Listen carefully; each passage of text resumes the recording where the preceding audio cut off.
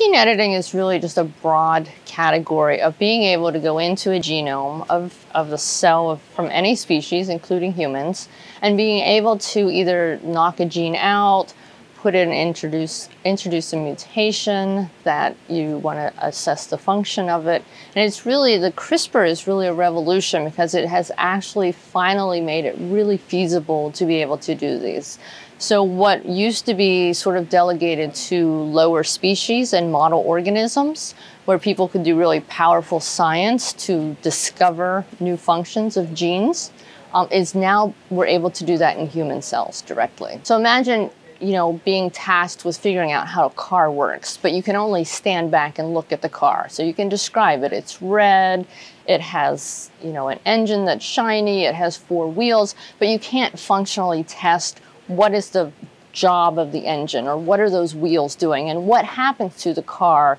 if the carburetor's not working or if you have a flat tire. And so that's kind of where science in the human realm was. And so now with CRISPR and gene editing, you can really go into your cell, into your model, and you can say, this is my favorite gene. It's been implicated in diabetes or in cancer. And now you can go in and you can mutate it or knock it out and see the functional consequences of that on the cell behavior. And so it's a very powerful technique. So here at the University of Maryland, um, we have a number of researchers who have already actively engaged in CRISPR gene editing. And so everyone sort of starts at the simplest level, and that's making knockouts. So everyone is already invested in studying a process. They have a number of candidate genes they're very interested in.